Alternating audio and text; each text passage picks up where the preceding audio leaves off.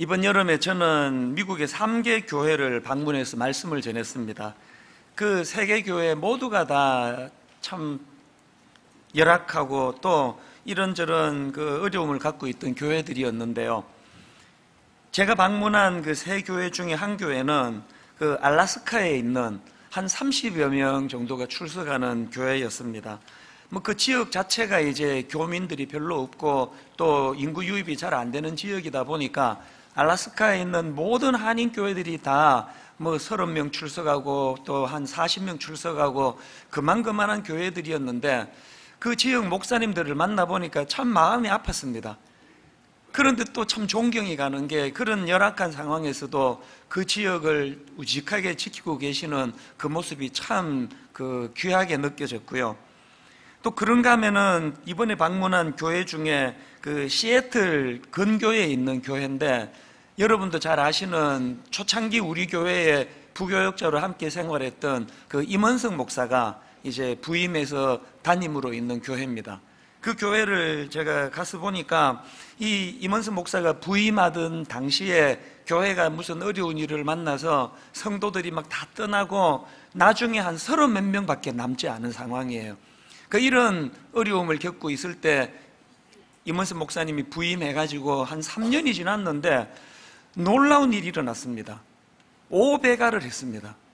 한 3년 만에 150여 명이 출석을 지금 하고요. 막 교회가 지금 으쌰으쌰 하는 그런 일들이 일어나고 있, 는데 그러나 이제 제가 가서 그 성도들을 만나보면서 그 무슨 짠한 생각이 드는가 하면 교회가 이렇게 어려움을 겪고 성도들이 다 떠나고 서른 몇 명으로 떨어질 때까지 그 교회를 지키고 있던 분들 마음이 얼마나 힘들었을까 그런 와중에도 교회를 지키고 있던 그 성도님들이 참 귀하게 제 마음에 그렇게 느껴지는 것입니다. 그런가 하면은 마지막 세 번째로 방문했던 교회는 또 이 교회는 이제 무슨 어려움이 생겼느냐 갑자기 담임 목사님이 중병을 만난 거예요. 그래서 오래 투병을 하다가 목사님이 견디지를 못하시고 사임을 하셨어요. 갑자기 목사님이 병을 만나서 이제 사임하시고 후임은 아직 세워지지 않는 그런 상황인데 제가 보니까 젊은 부목사와 또 우리 성도들이 참 눈물나게 교회를 지키고 있는 거예요. 그러니까 이 세 교회 모두가 다 이런 아픔이 있고 사연이 있는 그런 교회들인데요. 제가 이제 모든 그 집회를 다 마치고 귀국하고 났는데도 계속 마음에 그 이름 없는 그러나 그리고 또 빛도 없는 그러나 묵묵히 교회를 지키고 있는 그 귀한 분들이 계속 마음에서 떠나지 않는 겁니다. 제가 앞에서 언급했던 그 알라스카의 그 30여 명 모이는 교회. 여러분, 성도 30명 모이는 교회라면 뭐 이거 재정으로나 이 유지나 되겠습니까?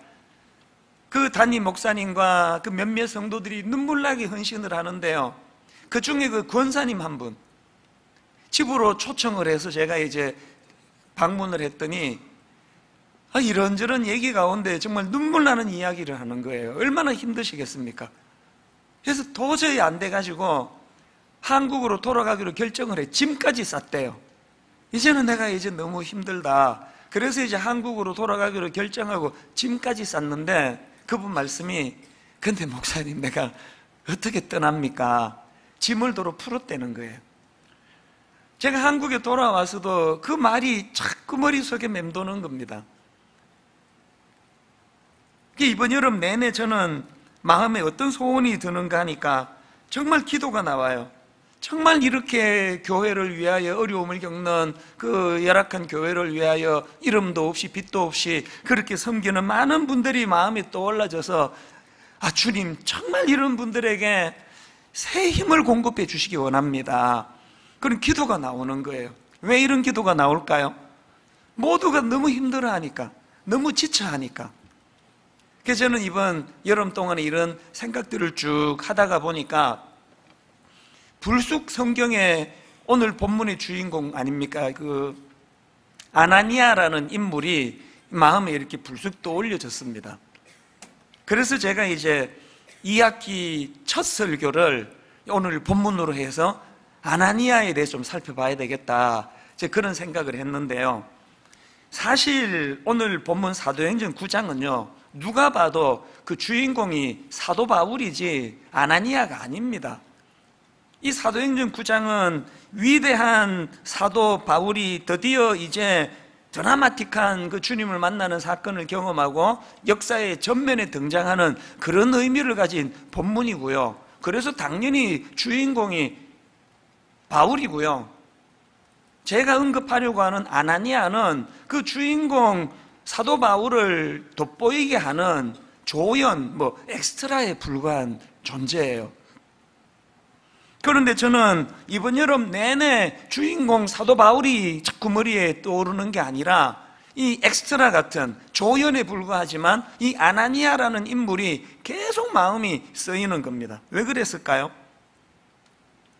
이번에 미국에서 만난 세계 교회 그 이름 없이 빛도 없이 섬기는 그런 분들이 하나님 앞에서 아나니아와 같은 존재라는 생각이 들었기 때문이에요. 그래서 제가 이 설교를 준비하면서 분당 우리 교회를 위시해서 곳곳에서 오늘도 이름 없이 빛도 없이 교회를 섬기고 계시는 많은 분들이 오늘 이 말씀으로 새 힘을 좀 공급받는 그런 은혜를 누리게 되었으면 좋겠습니다.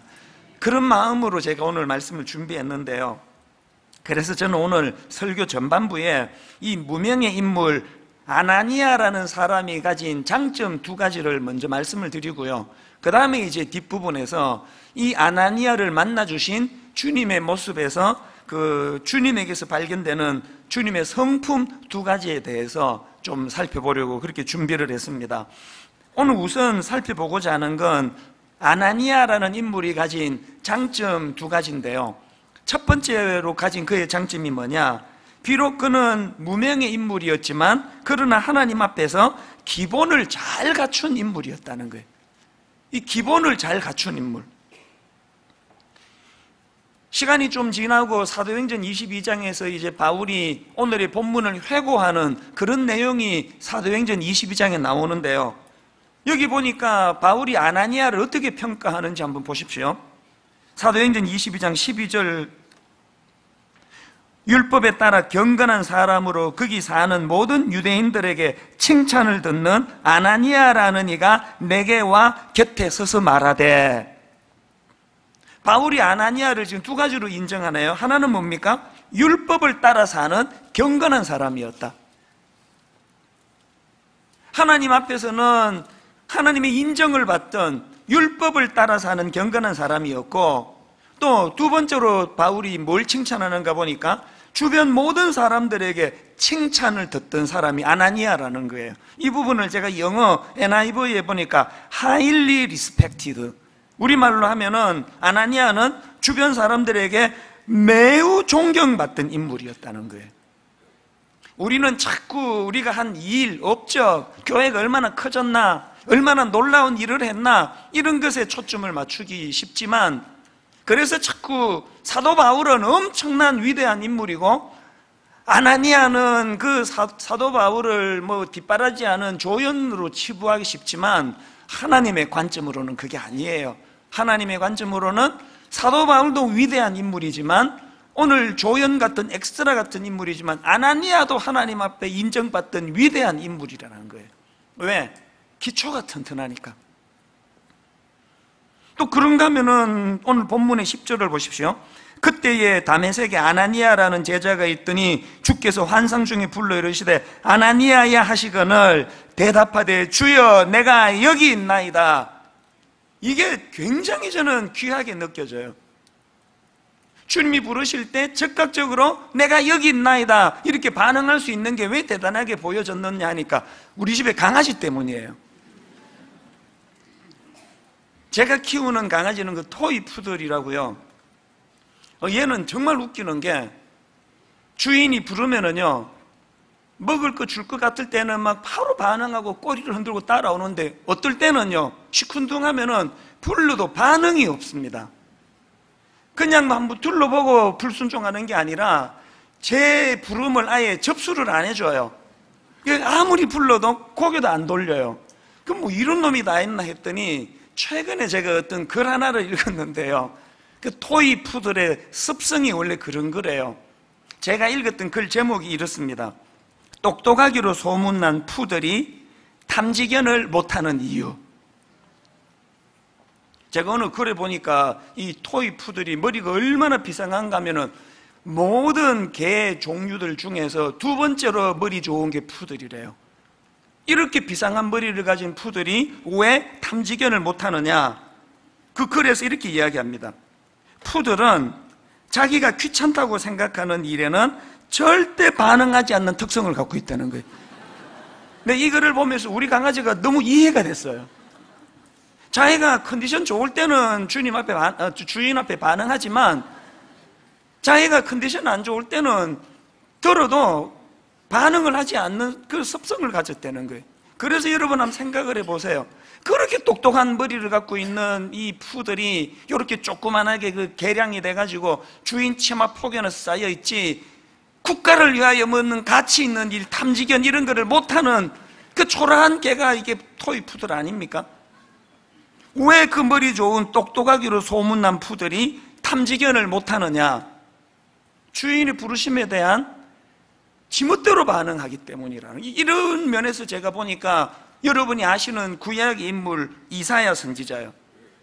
엄청난 위대한 일을 했던 이사야 선지자인데 여러분 그 이사야 선지자와 관계되는 6장 8절 이사야 6장 8절 다 아시지 않습니까? 내가 또 주의 목소리를 들으니 주께서 이르시되 내가 누구를 보내며 누가 우리를 위하여 갈고 하시니 그때에 내가 이르되 내가 여기 있나이다 나를 보내소서 하시니 오늘 본문의 아나니아랑 같은 반응 아닙니까? 여러분 이후에 이사야가 보여준 위대하고 놀라운 여러 가지 일들이 많이 나타나지만요. 그 모든 이사야 선지자의 위대함의 첫 단추가 뭐예요? 주님의 말씀에 반응하는 가장 기초적인 것. 주님이 부르시면 주인이 부르시면 내 컨디션과 관계없이 귀찮거나 귀찮지 않거나 반응을 해야 하는 이 태도 이게 기초라는 거예요 오늘 우리가 하나님 앞에서 그 푸들과 같은 태도를 보이는 거 아닙니까, 솔직히? 기분 좋으면 막 믿음이 막 자라고 반응도 금방금방 나고 뭐 조금 뭐 피곤하고 또 기분 나쁘고 하면은 들은 그 자체를 접수를 안 해주는 그 강아지와 같은 모습이 우리에게 없느냐는 거예요. 여러분, 바울처럼 막 엄청난 인물 되겠다고 기도하기 전에요. 아나니아처럼 기초가 튼튼한 그리스도인. 제가 앞에서 그 우리 교회 출신 임원석 목사가 시애틀의 어느 교회에 부임해가지고 교회가 지금 급성장하고 있다고 그 저 입장에서 그 얼마나 기쁘고 감사하겠냐고요. 그 제가 그 교회에 가서 성도들을 여러 성도들에게 물어봤습니다. 사실 뭐 임원석 목사가 막 엄청난 무슨 능력을 뭐 어떻게 발휘했는지 궁금하더라고요. 어쨌길래 그 30몇 명 모이는 교회가 3년 만에 그렇게 150명이 모이고 그 지금도 막 계속 이제 교회가 성장하고 있다고 그러더라. 그 비결이 뭐냐고. 저희 여러 성도들한테 물어봤는데요. 교회 성장의 비결이 뭐라고 생각합니까? 왜 임원석 목사가 부임하고 교회가 이렇게 성장하고 있습니까? 그렇게 물었더니 성도들이 이구동성을 하는 말이 간단했습니다. 아, 그거요. 담임 목사님의 그 성실함과 진실함 때문이에요. 인간적인 모습 때문이에요. 이게 무슨 말입니까? 간단하더라고요. 이분이 부임해가지고 담임 목사랍시고 거들먹거리지 않고 폼 잡고 있지 않고 교회 행사 끝나면은 담임 목사가 솔선수범해가지고 쓰레기 치우고 화장실 정리하고 돈 밝히지 않고 있는 사람이라고 그냥 마음 쓰고 없다고 업신여기지 않고 선물 밝히지 않고 뭐, 뭐, 막 엄청난 영적인 뭐가 있는 게 아니더라고요. 가만히 보니까 기초가 탄탄한 거예요. 인간미 있게. 거들먹거리지 않고. 그 제가 깨달은 게 뭐예요? 교회 부흥을 위해서 뭐 죽은 사람 살려내는 신비한 능력을 구할 게 아니라 가장 기본적인 거 아닙니까, 이거? 가장 기초적인 거. 우리 신앙도 마찬가지예요. 여러분 진짜 영적 회복을 원하세요? 정말 원하십니까? 내일 아침에 일어나서 성경 펴세요. 큐티 시작하시고요.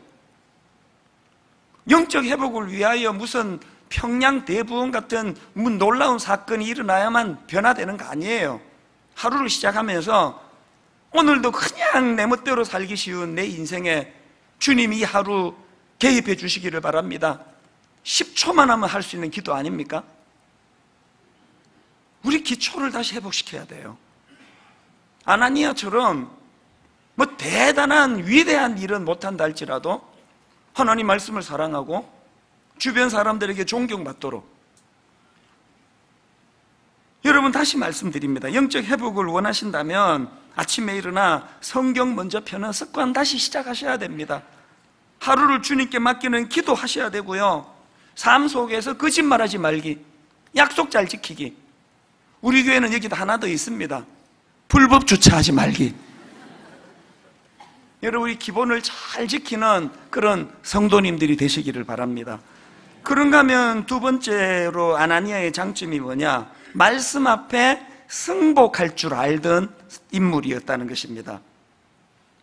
오늘 본문에서 지금 주님이 아나니아에게 뭘 명하십니까? 11절. 주께서 이르시되 일어나 집 가라 하는 거리로 가서 유다의 집에서 다소 사람 사울이라는 사람을 찾으라. 그가 기도하는 중이라. 여러분 요즘이야 뭐 바울 그러면 막 위대한 그런 인물로 존경받는 인물로 뭐 주님이 저에게 그 바울 같은 위대한 인물을 가서 만나라 그러면 막 가슴이 뛰고 설레고 그랬겠죠. 그러나 여러분 아나니아 당시에는 그게 아니에요. 그 변화되기 전에 다소 사람 사울은요 모든 사람들에게 공포의 대상이었습니다 악랄한 인간이었어요 피하고 싶은 인간이에요 그 주님께 이렇게 반박하는 거 아닙니까? 더군다나 13절에 보니까 아나니아가 대답하되 주여 이 사람에 대하여 내가 여러 사람에게 듣사온 즉 그가 예루살렘에서 주의 성도에게 적지 않은 해를 끼쳤다 하더니 순종 못하겠다는 거 아닙니까?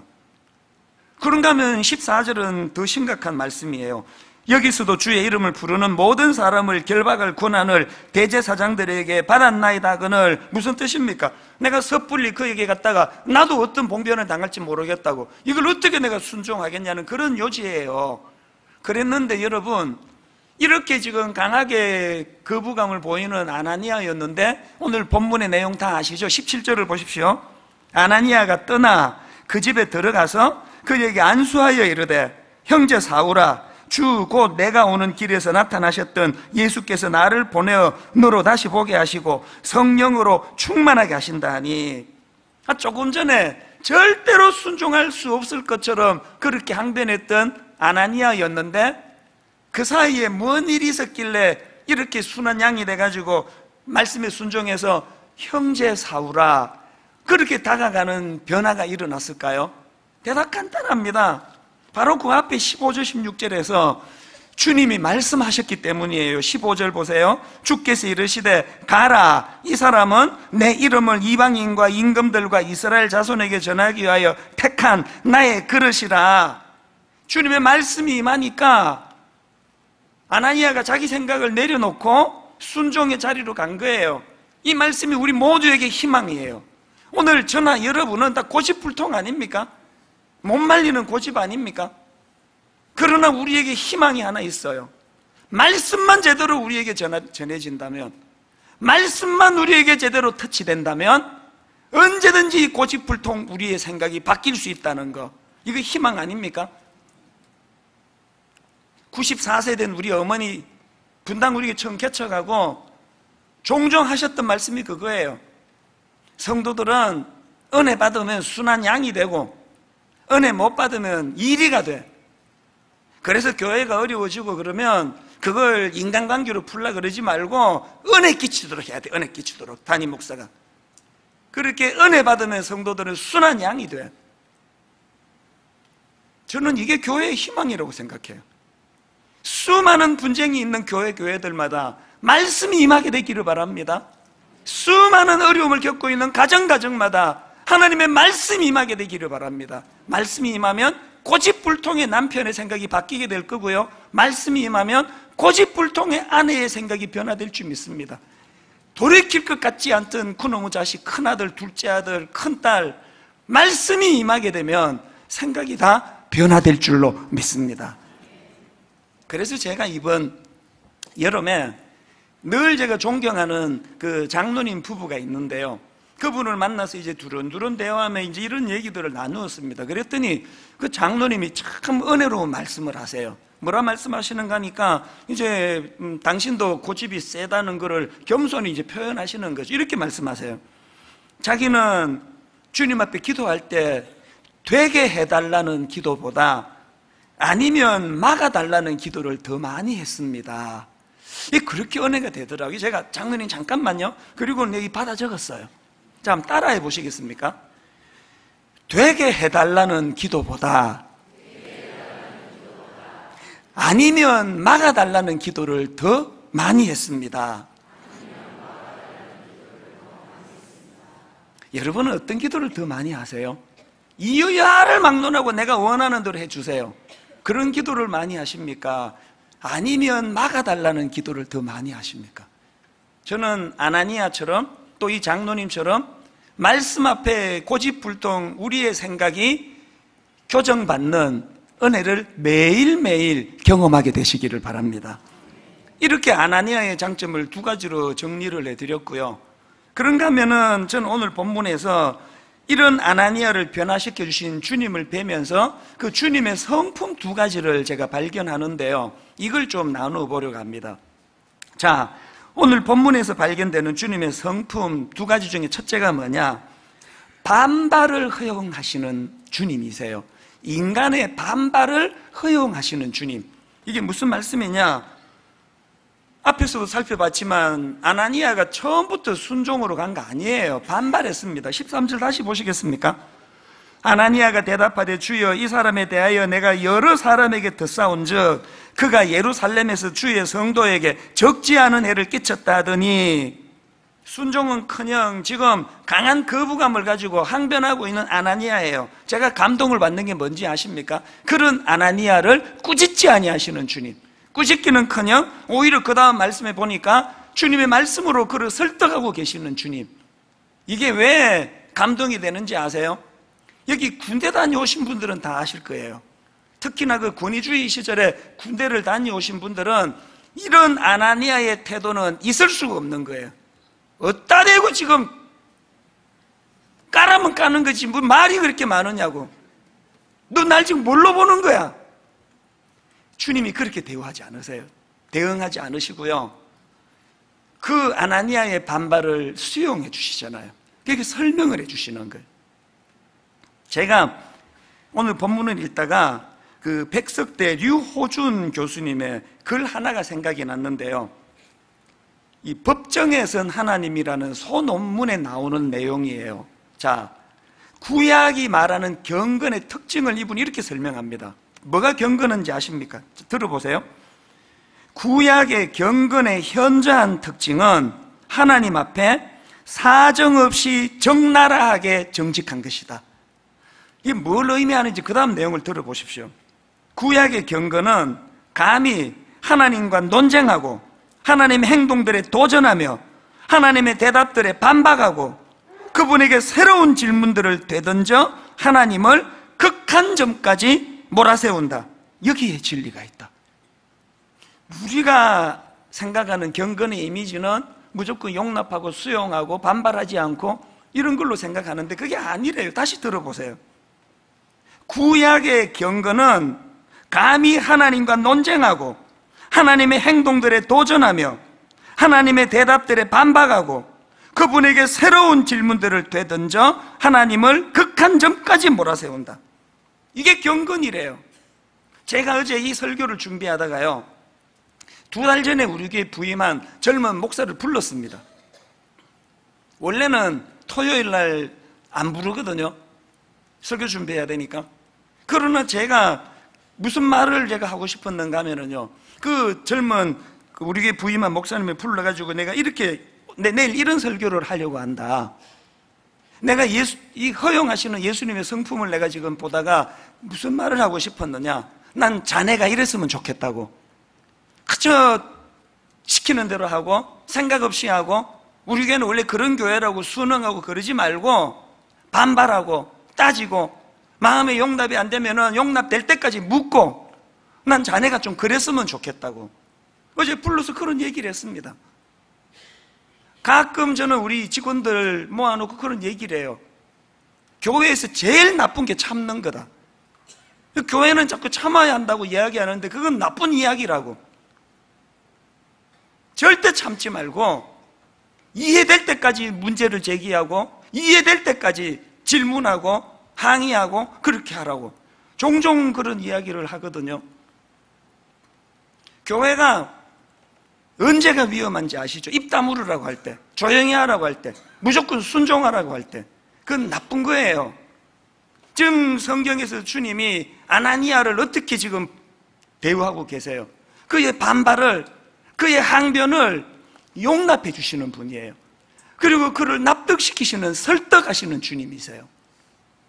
분당 우리 교회에 대하여 여러분이 동의가 안 되거든 언제든지 항의하세요. 질문하세요. 게시판에 글 남기세요. 단 예의만 갖추어 주세요.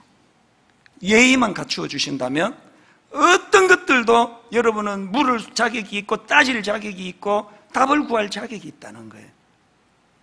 이게 저는 참 주님의 모습에서 감동을 받는 부분이고요. 그런가 하면은 본문에서 발견되는 주님의 성품 두 번째 이것도 참 감동이에요. 주님의 성품 오늘 본문의 두 번째가 뭐냐? 자기 생각에 갇히지 않도록 큰 그림을 그려주시는 주님의 성품이 너무 제게는 감사해요. 무슨 말입니까? 지금 아나니아가 다소 사람 사울이라는 나쁜 선입견에 빠져 있으니까 주님은 오늘 본문에서 무슨 말씀으로 설득하십니까? 15절 다시 보세요. 주께서 이르시되 가라 이 사람은 내 이름을 이방인과 임금들과 이스라엘 자손들에게 전하기 위하여 택한 나의 그릇이라. 지금 주님의 이 논리를 이해할 수 있지 않습니까? 지금 그 나쁜 소문이라고 하는 또 그 다소 사람 사울이라는 이 사람의 나쁜 이미지에만 갇혀 있는 아나니아에게 하나 주님은 더 큰 그림을 그려주시는 거예요. 지금은 그런데 앞으로 이 사람이 어떤 일을 하게 될지에 대한 큰 그림을 그려주고 계시는 주님이세요. 여러분, 신앙은요, 이처럼 도움을 받아서 굳어져 있는 내 생각을 교정해 나가되 더 큰 그림을 볼 줄 아는 그게 신앙의 성장이에요. 이번 여름에 제가 그 몇 권의 책을 읽었는데 그 중에 그 신경 끄기의 기술이라는 책이 있는데 굉장히 좋은 책이에요. 저에게는. 이 신경 끄기의 기술이라는 게 이게 뭘 말하느냐를 설명을 드리자면 여기서 말하는 신경 끄기가 뭐냐 하면은요. 그 책 표지에 신경 끄기의 기술 이렇게 제목을 적어 놓고 그 밑에 무슨 부연 설명이냐니까 인생에서 가장 중요한 것만 남기는 힘 이렇게 돼 있습니다. 짐작이 좀 가지 않습니까? 그리고 프롤로그 제목에도 보니까 이렇게 돼 있습니다. 가장 중요한 것만 남기고 모두 지워버려라. 신경 끄기가 지금 어떤 걸 의미하는지 좀 느낌이 오시죠? 그 책에 나오는 예화 하나만 제가 들려드리면요. 여기서 말하는 신경 끄기가 뭔지 금방 이해할 수가 있습니다. 어떤 예화냐 하니까요. 이제 저자가 어느 날 마트를 갑니다. 우리가 동네에서 뭐 흔히 볼 수 있는 그런 마트겠죠? 마트에 갔더니 어떤 할머니가 계산대 앞에서 고래고래 소리를 지르면서 지금 그 직원을 닥달하고 계시는 거예요. 그 내용을 가만히 보니까 그 30센트짜리 쿠폰을 가지고 보니까 이제 이거 왜 뭐 이거 안 바꿔 주느냐 뭐 그런 내용이었던 것 같아요. 여러분 그 30센트짜리 쿠폰 하면은요 우리 돈으로 한 300원 정도 되는데 제가 알기로 미국 달러로서 30센트는 가치가 우리 돈으로 300원 안 되는 거예요. 그런데 이 할머니가 그 30센트짜리 쿠폰을 가지고 막 소리를 지르면서 윽박 지르면서 그렇게 소리를 고래고래 지르는 그 장면을 목격을 하고는 책에다 이런 질문을 던집니다. 이 할머니는 왜 고작 30센트에 그렇게 신경을 쓰시는 걸까? 답이 뭔지 아세요? 그 할머니가 그토록 30센트 쿠폰 하나에 신경을 쓰시는 이유는 그것 말고는 신경 쓸 일이 없기 때문이었다. 여러분 웃으셨지만요. 저는 이 여름에 이 한 줄이 제 인생에 진짜 많은 생각을 하게 했습니다. 그까지 30센트 쿠폰은 이건 인생에 진짜 사소한 건데 왜 여기에 모든 걸 걸고 그렇게 화를 내고 소리를 지르고 그렇게 하실 수밖에 없었느냐? 그것보다 더 중요한데 관심을 쓰는 게 없기 때문이라는 거 아닙니까? 오늘 그리스도인으로서 우리의 모습을 한번 돌아보지 않으시겠습니까? 그 책 맨 뒷표지에 저자와의 인터뷰에 저자가 이런 말을 해놓은 걸 제가 봤습니다. 제가 말한 신경 끄기는 중요하지 않은 모든 것을 향해 꺼져 라고 말하고 진짜 중요한 것에 집중해야 한다는 것입니다. 책 내용 중에도 비슷한 내용이 나옵니다. 인생에서 마주하는 중요하지 않은 모든 것을 향해 꺼져! 라고 말한다. 진짜 중요한 것에 신경 쓰기 위한, 아, 진짜 중요한 것에 쓰기 위한 신경을 따로 남겨놓아야 하기 때문이다. 저는 오늘 결론을 이렇게 맺기를 원합니다. 오늘 저나 여러분이 맞닥뜨리고 있는 우리가 온통 신경을 쓰고 있는 그 일이 사실은 하나님 앞에 30센트짜리 쿠폰에 불과해요. 누가 날 그렇게 좀 무시한 거? 날 함부로 대한 거? 날 인정하지 않은 거? 잠을 이루지 못하고 신경을 쓰고 있는 그 모든 것들이 사실은 하나님 앞에 30센트짜리예요. 그날 아나니아가 바울에 대한 선입견을 가지고 불순종했더라면 누가 손해를 보는 거예요? 바울은 하나님 앞에 쓰임 받을 수밖에 없는 하나님이 점지하신 인물이라면 아나니아의 그 좁아터진 속으로 말미암아 그 주님의 말씀에 불순종했더라면 위대한 사도 바울이 쓰임 받는 과정에서 아나, 아나니아가 그 놀라운 역할을 하나님 맡겨주신 이 기쁨을 놓칠 뻔한 거 아닙니까? 오늘 여러분이 사소하게 신경 쓰는 그 무엇 때문에 놓치는 진짜 중요한 것들을 점검해 보는 시간이 되기를 바랍니다. 결론을 이렇게 맺습니다. 여러분, 저나 여러분 모두가 다 오늘 본문에 아나니아가 만났던 그 주님을 만나야 돼요. 그리고 그 주님 앞에 우리 생각이 교정이 되고 내가 지금 이렇게 신경 쓰고 있는 게 사실은 하나님 앞에서 30센트짜리 쿠폰에 불과하다는 걸 자각하게 될 때에 저나 여러분의 인생에 훨씬 아름다운 그림을 그려 나가게 될 줄로 믿습니다. 이 학기가 시작되는 첫 시간 아닙니까?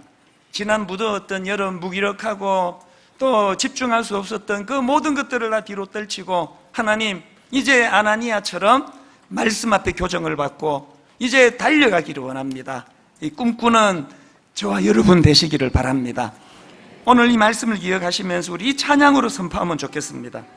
내 눈 주의 영광을 보내 우리 가운데 계신 주님 그 빛난 영광 온 하늘 덮고 그 찬송 온 땅 가득해. 여러분, 그 30센트짜리 쿠폰 들여다보느라고 이 어마어마한 주님을 놓치는 일이 없기를 바랍니다. 우리 그 주님께 집중하며 우리 찬양 같이 불러보기 원합니다. 내 눈 주의 영광을 보내.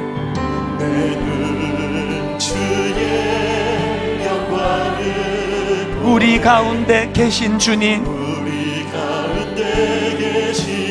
그 빛난 영광 온 하늘 덮고 그 빛난 영광 온 하늘 덮고. 그 찬송 온 땅 가득해.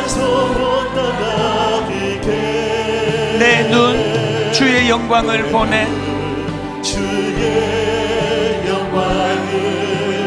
찬송 가운데 서신 주님. 주님의 얼굴은 온 세상 향하네 권능의 팔을 드셨네. 여러분 예배 가운데 주님의 영광을 누리셔야 합니다. 주의 영광 이곳에 가득해 우린 선의 주님과 함께. 찬양하며 우리는 전진하리. 모든 열방 주 볼 때까지. 주의 능력 이곳에 가득해. 우린 선의 주님과 함께. 찬양하며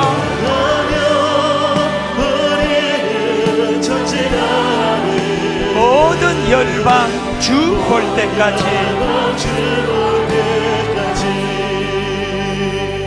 여러분 지난 몇 주 동안 그 무더위 때문에 얼마나 힘드셨어요? 게다가 이 열대야 때문에 잠을 깊이 못 자니까요. 이 육신이 자꾸 그렇게 위축이 되면 우리의 영혼도 같이 영향을 받아요 이제 떨칠 때가 된 거 아닙니까? 무기력하게 몽롱하게 예배 드리는 거 이거 몇 번 이거 습관 잡히면 큰일 납니다. 오늘 이거 떨치는 날이 되기를 바랍니다. 하나님 내 이 사소하고 그저 잡다한 30센트짜리의 내 인생을 거는 이 초라한 내 인생이 위대하신 주님을 만나는 시간 되기 원합니다. 그 주님 앞에 내 생각이 교정될 수만 있다면 우리 가정에 변화가 일어날 줄 믿습니다 우리 교회에 놀라운 역사가 일어날 줄 믿습니다. 오늘 이 기대감을 회복하는 예배가 되기를 바랍니다. 그런 기대감을 가지고 늘 말씀드리죠. 노래방에 가가지고 기분 좋을 때 부르는 노래로 이 찬양 부르시면 큰일 납니다. 이 시간 한번 집중하며 이 학기 동안에 새로운 일들을 펼쳐가실 주님을 기대하면서 다시 한번 우리 이렇게 찬양하며 고백합니다. 내 눈 주의 영광을 보내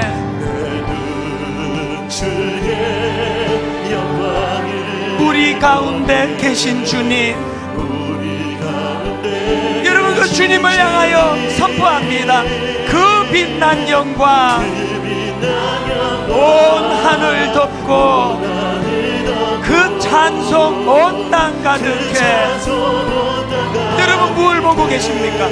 내 눈 주의 영광을 보내 찬송 가운데 서신 주님. 선포하십시오. 주님의 얼굴은 온 세상 향하네 권능의 팔을 드셨네. 주의 영광 이곳에 가득해. 우린 선의 주님과 함께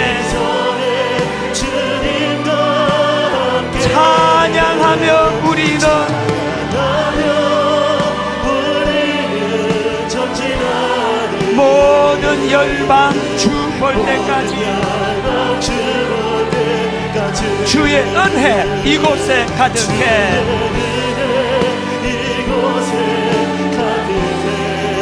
우린 선의 주님과 함께 찬양하며 우리는 전진하리. 모든 열방 주 볼 때까지 하늘 아버지 우릴 새롭게 하사. 우리 새롭게 하사. 열방 중에서 주를 섬기게 하소서. 모든 나라 일어나 찬송 부르며 영광의 주님을 보게 하소서 주의 영광 이곳에 가득해. 우린 선의 주님과 함께. 찬양하며 우리는 전진하니 모든 열방 주 볼 때까지 할렐루야 찬양하세.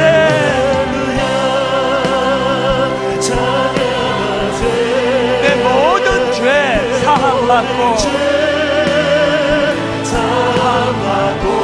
주 예수와 동행하니 그 어디나 하늘나라. 내 영혼이 은총 입어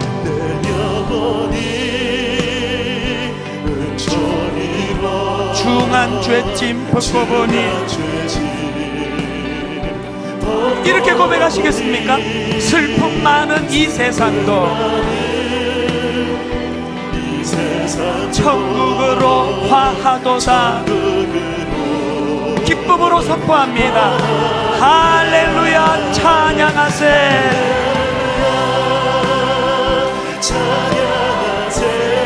내 모든 죄 사함 받고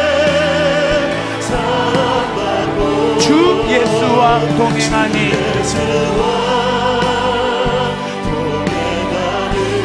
그 어디나 하늘나라.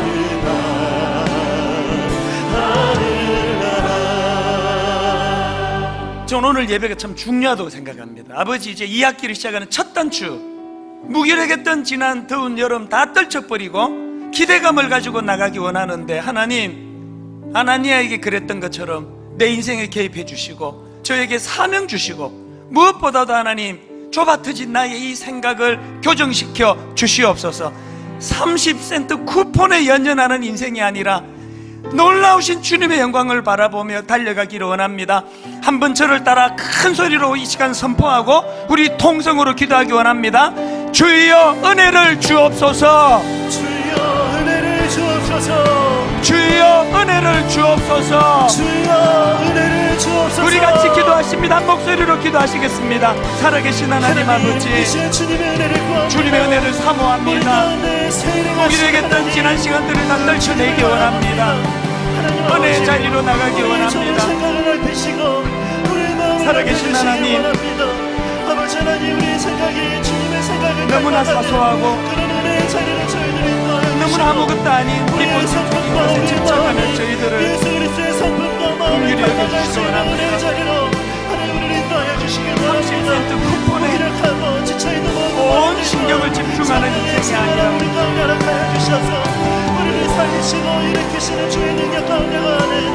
주님을 인도해 그에 대한 주님의 생각을 바라보고 놀라우신 그 주님을 향해 달려나가는 저희들 되기를 원합니다.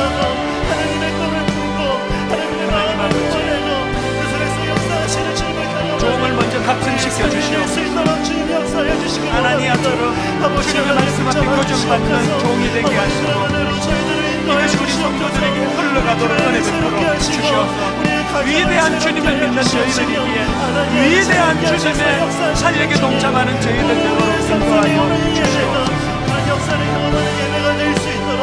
하나님 인도해 주시며 그렇게 우리의 눈을 열어 주시옵소서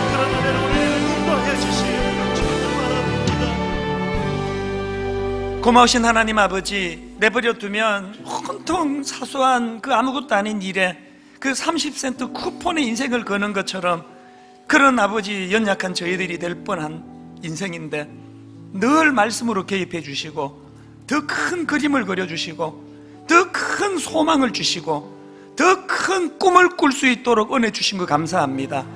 무기력했던 지난 시간을 떨치고 다시 한번 주먹에 힘을 쥐고 주님의 은혜를 바라보며 이 학기를 달려가고자 합니다.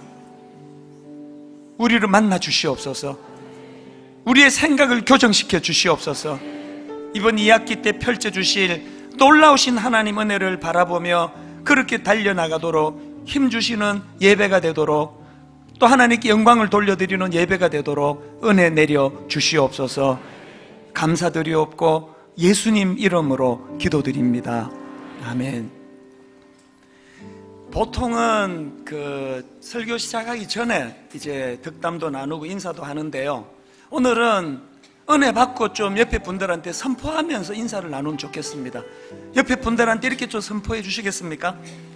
이 학기에 주실 은혜를 기대합니다. 옆에 분들과 인사하시겠습니다. 이 학기에 주실 은혜를 기대합니다. 그 기대를 가지고 다 일어나셔서 우리 찬양으로 하나님께 영광을 올려드립니다. 주님의 영광 나타나셨네. 우리 손뼉 치면서 모든 무기력을 떨쳐버리는 능력의 찬양이 될 줄로 믿습니다. 주님의 영광 나타나셨네. 영광 나타나셨네. 권능으로 임하셨네. 죽음에서 날 살리신 죽음에서 날 살리신 주 놀라우신 주 하나님. 놀라우신 주 하나님. 할렐루야. 주의 나라가.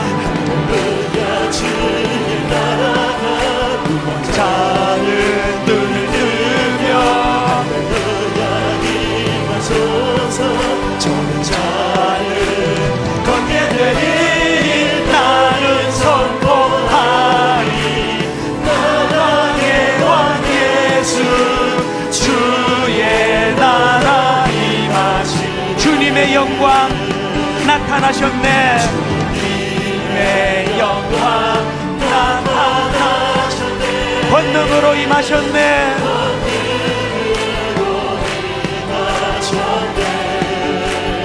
죽음에서 날 살리신 죽음에서 날 살리신 주성여. 놀라우신 주 하나 힘있게 선포합니다 할렐루야 주의 나라가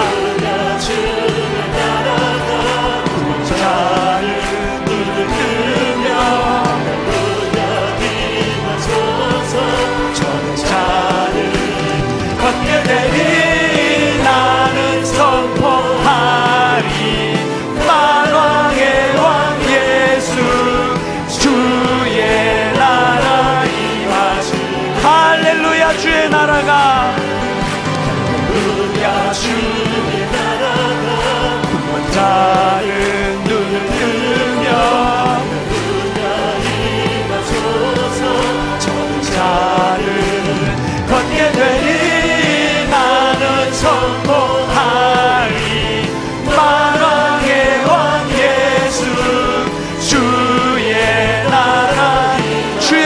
임하시네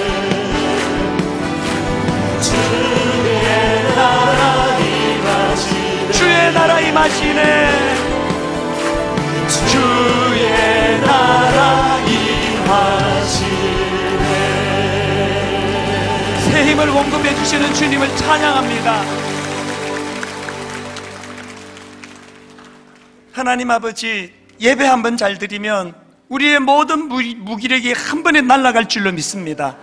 하나님 예배 한 번 잘 드려진다면 우리의 이 좁은 생각, 이 좁아 터진 생각들이 다 사라지게 될 줄로 믿습니다.